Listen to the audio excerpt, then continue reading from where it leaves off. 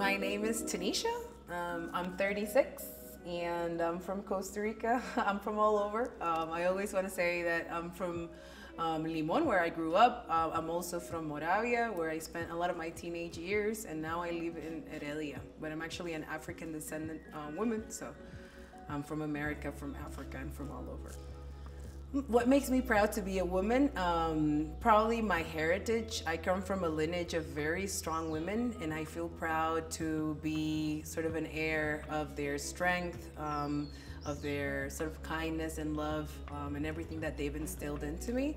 So I would say I'm proud to be a woman because I know I descend from women that are powerful, are strong, kind, and loving.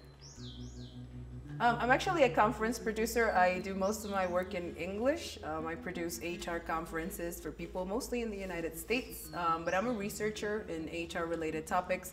I'm also an activist for racial justice and um, gender justice, and a mother, uh, a daughter, and a sister.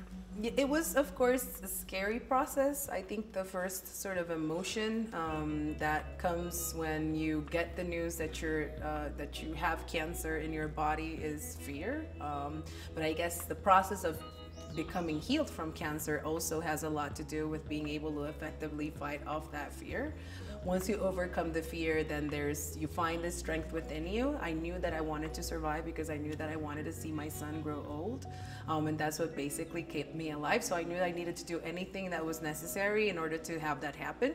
But I was also in the context of cancer very scared of being sick, more so than I was of dying. This was like one of the key decisions that I made when I was like trying to determine what treatments and you know what my surgery was going to look like and all the treatments were going to look like when I was um, notified that I had cancer. And one of the first things that I knew is that I needed to get an immediate reconstruction if it was at all possible, um, because I knew that that was a very important part of my healing process was that I was able to sort of sustain myself in an emotional level, right? Um, and I also had heard a lot of things about the surgery that it was like super hard to recover from. It's probably one of the hardest surgeries to recover from.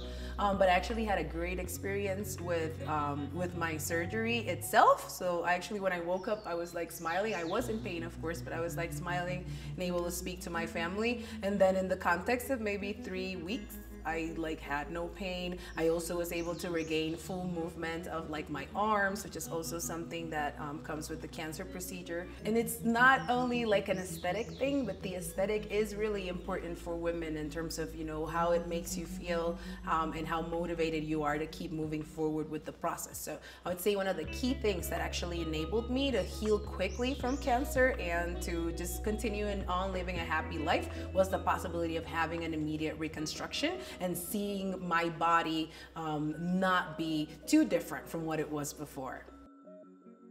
Well, Tanisha right now would say to Tanisha at 30 to not be um, as uh, like hard on herself and and hard on others. I'm much more flexible now. That was the number one lesson from my cancer was that I needed to release control. I've always lived my life wanting to know what's going to happen next.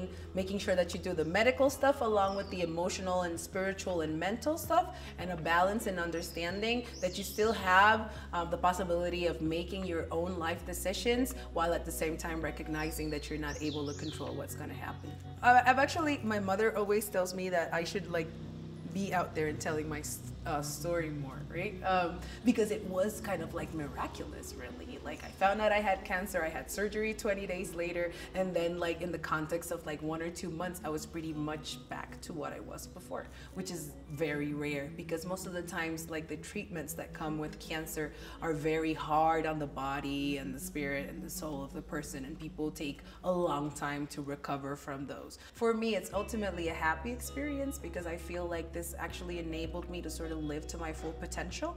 Um, but everyone has, again, their own story to share, and I really find a lot of value in that. Um, and I think that uh, it is healing in itself to be able to sort of have this opportunity to relate to these women and hear from them and learn from them as well.